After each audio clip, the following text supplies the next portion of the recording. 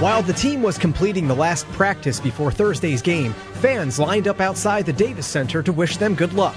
Coach Jay Wright was taken aback by the support of Nova Nation. Uh, I was up in my office actually. I heard the band play, and I forgot that there's a lot of people that really um, follow this and, and, care about this team, and, it, and it's, it's really heartwarming. Fans are hungry for another trip to the Final Four. Especially after last year, really hoping to come back and make it really far, and should be a really fun march. Thursday night's tip-off is 650.